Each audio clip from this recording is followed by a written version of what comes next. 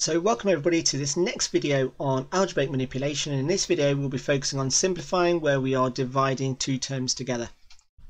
Now when you have two algebraic terms being divided by one another, so in other words no addition or subtraction signs are in sight, then it may be possible to simplify the expression.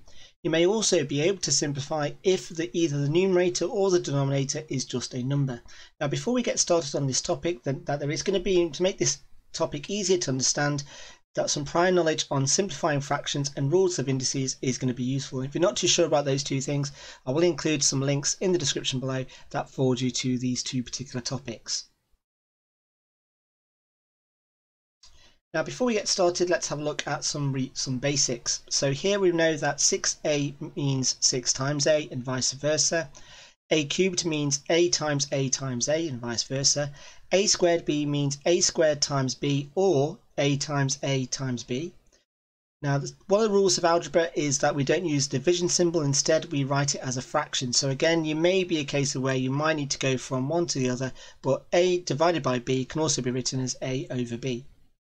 And then the next thing comes on on simplifying fractions. So again, we're not here to eliminate any numbers, just to make the numbers easier. So what you want to think of is the biggest factor that goes into both 18 and 24, which in this case is going to be 6.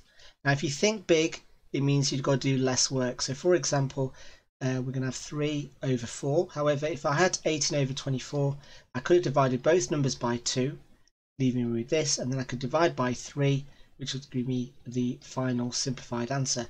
However, you can see here I've done it in two steps, whereas if I thought big, I've done it in one. Now also, you can also simplify not only proper fractions, but improper fractions as well. So here we've got 24 over 10, so that's going to be simplified as 12 over 5. I'm going to leave it as that. Then incorporating the rules of indices, when you're multiplying and the bases are the same, then what do we do to the powers? We add them together, so that's going to be 3 plus 7, which is a to the power of 10. And when we're dividing, we do the opposite, so we take away, so this is when the base numbers are the same. So here we've got b is our base, which is common. So here this is going to be b to the power of 4 minus 2, which is b squared. And finally, we can also end up with negative powers. So this is going to be b to the power of 3 minus 10, which is b to the power of minus 7. Now, there is an important note that you need to be aware of, and that is that like when simplifying with multiplying, you can only simplify numbers with numbers and common letters with common letters that appear in the numerator and the denominator you can only the following can only apply when you just have one term in the numerator and one term in the denominator. Now what that basically means, if I just get rid of this bubble, is for this particular video, if I had 3ab over, let's say 12abc, and let's just stick a square there, then that's fine because I've got one term in the numerator and I've got one term in the denominator. Where this doesn't apply is if you had a, let's say a plus bc over 2ab. Now because there's a plus sign, here I've got two terms in the numerator. I've got a and I've got bc because they're being added and I've got one term at the bottom. So here I've got two terms. And in the denominator I've got one term. And that's where this video is not going to really be, going to be applicable in the sort of it's much a higher level looking at simplifying these types of fractions. However, what we're going to be focused on this video is when you've got one single term on the numerator and a single term on the denominator. So let's have a look at some example questions. So the question is asking us to simplify the following divisions. So even though you can't see a division symbol, they're written as a fraction, which basically means they're being divided. So looking at question A, we've got 10a over 2. Now here we've got a number and a letter at the top and we've got a single number at the bottom. Now how we go about simplifying this is remembering the previous note that you can only simplify numbers with numbers and common letters with common letters.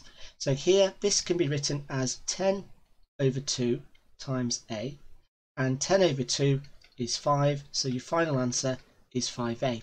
Another way of deriving that answer is to cancel both those numbers by 2 in which we end up like so and I can write Again, write your final answer as 5a. Moving on to question B, we've got 9ab over 3. Now again, we can write this as 9 over 3 and then times ab. And the reason why AB hasn't got fraction over 3 is because it's not needed. So here I've got 9 over 3, which simplifies to give me 3. And so that becomes 3 over 1. So what that then becomes is 3AB over 1, which is the same as 3AB. And again, what I could have done is rather than having to show my working out, because you've done it on the question, divided both those numbers by 3. And again, I'd get 3AB over 1. And when you divide by 1, it's just the same. So it's just 3AB. Moving on to question C. Again, now here we've got a letter at the bottom. So here, how I can write question C is I've got 4b over b and I can split that up as 4 times b over b. Now b over b is just 1 because they just cancel out. So all I'm left with is 4. And again, what I could have done is rather than show my working out, I could have done it on the question. They cancel out, just leaving me with the answer of 4. Now when it moves on to question D, again, I'm looking at what's common about the, both the top and the bottom. So the top the numerator's only got a number, so I can't cancel the 5. However, they've both got an A, so I can cancel an A from the top, an A from the bottom, leaving me with just 5C. When it moves on to question E, again I've got numbers, so I can, looking at the numbers, I've got 15 and 5. What goes to both 15 and 5? or 5. So I can divide 15 by 5, I get 3. 5 divided by 5 is 1. I've got a B on both sides, so I can cancel them down, leaving me with just 3A over 1, which is just 3A. And then finally for question F, again I can simplify looking at the numbers. I've got 20 and 4, so I simplify that by dividing both numbers by 5, uh, by 4 rather, so I get 5 and 1. I've got a squared, so I can cancel that a because a squared is a a. So how I could write this is 20 aab over 4ab. So I cancel the 20 and the 4, leaving with 5 on the top and 1 at the bottom and I cancel that A with that A and then I cancel the B with the B and I write down whatever's not been crossed off or simplified so on the top I'm left with 5A and at the bottom I'm just left with 1 leaving me with the final answer of 5A so again looking at this I can just cancel them down and there we go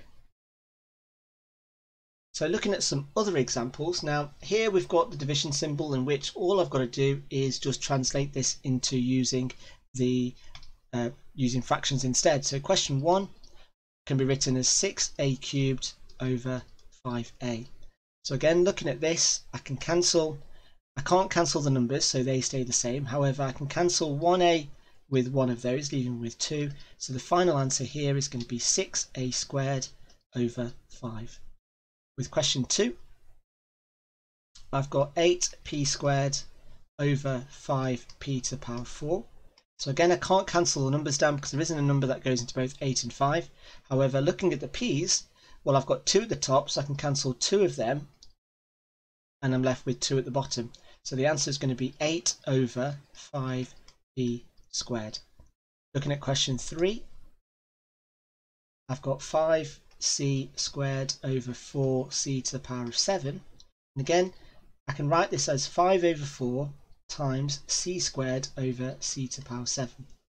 And then if that makes it easier for you to simplify, well, I can't do anything with the 5 and the 4, but I can do something with the c's. So I take away the powers. So I take away 2 from there, so I've got to take away 2 from the bottom, leaving me with just 5 over 4c to the power of 5. Looking at question 4, I've got 3c to the power of 5 over 2c squared. So again, that's the same as 3c, c, c, c, c over 2cc. Again, I can cancel. I cancel one from the top, I've got to cancel one from the bottom. I can't do anything with the numbers, so what I'm left with 3c cubed over 2. With question 5, I've got 7r to the power of 5 over 4r squared. So again, I can't do anything with the numbers, but I can get do something with the r's. I'm left with 3 at the top, so I'm left with 7 r cubed over 4. So not everything disappears. You might find yourself left with some things. So with question 6, I've got 21 a squared over 7a to the power 5. Now here I can simplify the numbers. So I can treat this as 21 over 7 times a squared over a to the power 5. So looking at this, I can simplify 21 7, so dividing both numbers by 7. And I can cancel the two a's from the top, leaving me with 1. And I can leave that as a 3. So what I'm left with is 3 over a cubed. And there is my final answer. Moving on to question 7. I've got 9p cubed over 18p cubed. So again, dealing with the numbers, I can simplify that because dividing both numbers by 9, so I'm left with 1 and 2 at the bottom. I can cancel the p at the bottom and I cancel 1 from the top, so I'm left with 2. So looking at this, can't cancel q, so all I'm left with is p squared over 2q. And there we go. And looking at question 8, I've got 24 t to the power 7 over 18t squared. So simplifying this, I can divide, looking at the numbers, what number goes into both 24 and 18? We want to always think big, so I can divide both numbers by 6. So that's going to be 4 and 3. I can cancel the two t's at the bottom, leaving me with 5 at the top, and then it becomes 4t to the power 5 over 3. There we go. And looking at question 9, we've got 2d cubed over 6d to the power 7. So again, simplifying the numbers, I can divide both numbers by 2. So I've got 1 and 3. And then dealing with the d's, I can eliminate all 3 from the top, take away 3 from the bottom, leaving with 4. Probably shouldn't have crossed out that d, so let's just get rid of that. And half the question, so that should be a 7. And what we've got then is 1 over 3 d to the power of 4. Now just be careful that when you are cancelling things off, off from the question that you don't you do know what you're doing. You don't make sure you don't cross off things that you shouldn't really have crossed off. Question 10, we've got 12f to the 8 over 16f to the 2. So again simplifying the numbers, divide both numbers by 4, which I'm left with 3 and 4, and I can cancel the two f's at the bottom, take 2 off the top, so I'm left with 3f to the 6 over 4. With question 11, I've got 5n squared m over 4n cubed m to the power of 4. Now again, what this translated is 5n n m over 4n n n m m m m. So again, I can only cancel whatever is common. So the numbers I can't cancel down because 5 and 4, there isn't a number that goes into it. If I can cancel that n with that n, that n with that n, that m with that m, and then all I've then got to do is write down what I've got on both the numerator and the denominator. So at the top, I've just got 5. At the bottom, I've got a 4. I've got a single n, and I've got m cubed. And again, you could have easily just cancelled down what we did here. But again, you just need to be mindful of how messy it potentially looks. But as long as you get from there to the correct answer, then that's going to be absolutely fine. So moving on to question 12. So here we've got uh, 7p to the power 4 q divided by 2p squared q to the 6. Now again, looking at the numbers, there's not much I can do with that. However, I've got two p's at the bottom, so I can cancel that down. So I've got 2 left at the top. I've got q at the top, which I can cancel, leaving me with 5 at the bottom. So here this then becomes 7p squared over 2q to the power of 5. And looking at question 13, I've got 8b cubed c squared over 5bc to the power of 6. Again, nothing to do with the numbers, but I can cancel the b with, from the bottom, so I've left with 2 at the top, and cancel the two c's, leaving with 4 at the bottom. So then what I'm left with is 8b squared over 5b to the power c to the power of 4. Then with question 14, I've got 5 a to the 7 b to the power 5 over 4a squared b cubed. So again, simplifying, nothing to do with the numbers. I can take, oh, maybe not 7. Let's take the two a's from the bottom, take, so I'm left with 5, and take the 3 from the bottom, leaving me with 2 at the top, leaving me with 5a to the power of 5 b squared and with nothing at the left at the bottom, oh there's a 4, sorry. And there we go. So again, very easy for you to sort of ignore anything that you crossed off, so you just got to be wary. Then with question 15, which I'll just do at the top over here, I've got uh, 7q to the 5 r squared over 4q squared r cubed. So again, cancelling things down, nothing to do with the numbers. Cancel the two q's, even with 3 at the top, and the two r's, even with just a single r. So it's going to be 7q cubed over 4r. And then question 16 is 16a b to the 5 over 4a to the 4 b squared. Now here I can cancel the numbers down. So I can cancel that to a 4 and a 1 at the bottom. Cancel the a at the top, so I'm left with 3 at the bottom. And cancel the two b's at the bottom, leaving me with 3 at the top. And all in all, I'm left with 4b cubed over a cubed. And there is my final answer. So now moving on to the last four questions.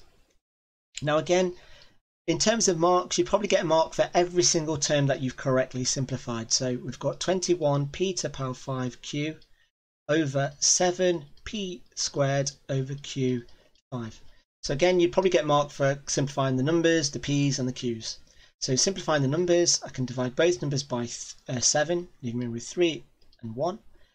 I've got two p's, they cancel out, leaving me with 3, and I cancel the q at the top, leaving me with 4 at the bottom, so that becomes 3 p cubed at the top and q to the power of 4 at the bottom.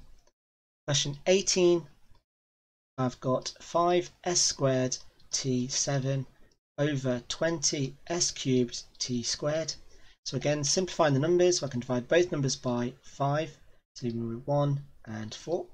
Two s's cancel out, I'm left with 1 at the bottom, and the two t's at the bottom cancel out, leaving me with 5 at the top, so I'm left with t to the power of 5 over 4s. And there we go. Now, if you were to write a 1, you wouldn't lose any marks, but uh, generally, when you've only got one thing, you don't usually mention the number. Then moving on to question 19, we've got 12c to the power 7 d cubed over 9c to the power 4 d to the power 6. So simplifying, looking at the numbers, what number goes to both 12 and 9? It's going to be 3. So that becomes a 3 at the bottom and 4 at the top. Cancel the 4C's at the bottom, so I'm left with 3 at the top, and cancel the 3D's at the top, leaving me with 3 at the bottom. So what I'm left with is 4C cubed at the top and 3D cubed at the bottom. And then finally, for the very last one, which I'm sure you'll be thankful of, we've got question 20. We've got 24 f squared g, oh, not q, let's get rid of that. And we've got g to the power of 4 over 18 f to the 5 g to the 7. So again, simplifying the numbers, I can divide both numbers by 6 and even with 4. I can cancel the two f's at the top, leaving me with 3 at the bottom, and cancel the 4 g's at the top, leaving me with 3 at the bottom, being with a final answer of 4 over 3 f cubed g cubed. And there is my final answer. Now, I will put some practice questions in the description below for you to practice everything that's covered in this video.